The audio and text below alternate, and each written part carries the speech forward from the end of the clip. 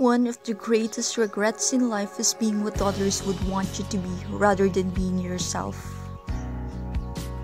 Be a master at loving yourself and people will follow. Dismantle your wounds so you stop living your life by them. Don't let your happiness depend on anyone. Your greatest responsibility is to love yourself and to know you are enough. Stop trying to impress people. Impress yourself. Stretch yourself. Test yourself.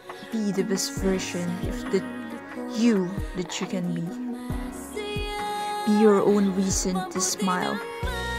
They are to love yourself as if you were a rainbow with gold at both ends. You yourself, as much as anybody in the entire universe, deserve your love and affection.